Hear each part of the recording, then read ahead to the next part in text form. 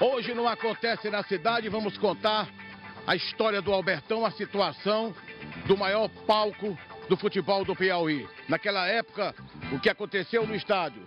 Vinha chegando um avião trazendo o presidente da antiga CBD, João Avelange, quando um irresponsável com a zoaba do avião gritou que o estádio estava caindo. Aí muita gente morreu. Vamos ver o Albertão por dentro.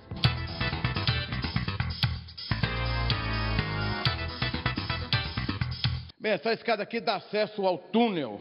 Vocês podem ver que aqui podia ser pintado, olha. Isso aqui é lamentável. Chega a pessoa de fora, um jogador de fora, ver essa esculhambação aqui. Eu sei que a administração do estádio não tem nada a ver com isso. A Fundesp é que tem que resolver o problema e não resolve. Vamos descer aqui. Eu desci essas escadas durante muito tempo, mais de 25 anos, como repórter esportivo. E vejo que hoje a coisa está totalmente diferente. O primeiro campeão aqui do estádio foi o Tiradentes em 1974. Você pode observar aqui que o estádio precisa realmente de uma reforma. Olha isso aqui. É, é triste, rapaz, você conviver com uma situação dessa. Olha aí. Olha aí. Aí tudo quebra, tudo mole, aí. Tudo esculhambado, rapaz. É um abandono total, olha aqui. Olha a porta aqui. Mostra a porta aqui por dentro, Sandoval. Dá vontade de chorar, olha como é que tá isso aqui. Pelo amor de Deus, rapaz, você conviver com a esculhambação dessa, mofo. Vamos para o gramado?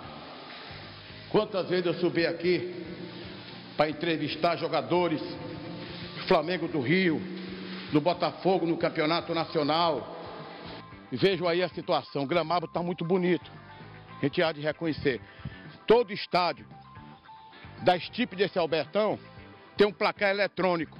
Infelizmente, olha aqui, não tem um placar eletrônico para informar a reba do jogo, para informar a arbitragem. Vou mostrar agora a situação dos vestiários, mas tem muita coisa errada aqui, tem. Eu noto que os ventiladores estão pifados, viu?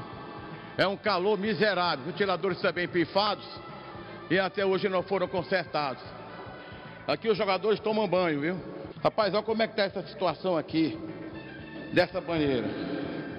Deixa eu ver se eu consigo passar. É assim não. Olha aqui. Presta atenção, aqui os caras tomam banho depois do jogo. Olha como é que tá isso aqui. Aqui tudo descascado. Rapaz, revolta, viu? Com todo o respeito que eu tenho ao pessoal da Fundesp, mas isso aqui é revoltante. O Estado precisa realmente de uma roupagem, viu? De uma mudança. Olha esse vazamento aqui, tem a minha idade, 63 anos.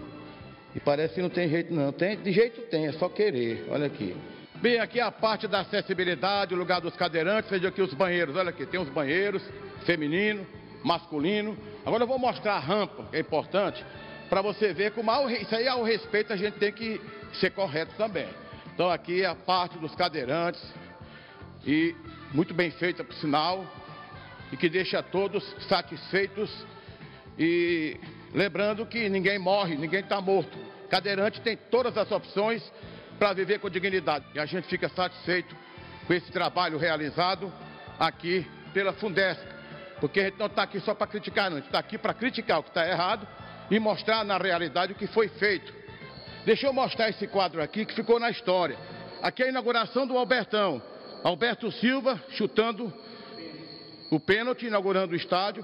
Aqui sou eu, 52 quilos, cabelo grande, mas sem brinco, bom que se diga. Aqui é Murilo, capitão do Tiradentes. Carlos Alberto Pintinho, capitão do, do Fluminense. Daqui não é Marco Antônio, não, é? Aí, Marco Antônio. Parece muito com Pintinho. Aqui é o Coronel Irã. E aqui é a segurança do Alberto Silva. Então, isso aqui foi no dia 26 de agosto de 1973 numa tarde de domingo. Isso aqui fica na história, viu? Esse quadro aqui que marca a inauguração oficial do estádio Governador Alberto Silva.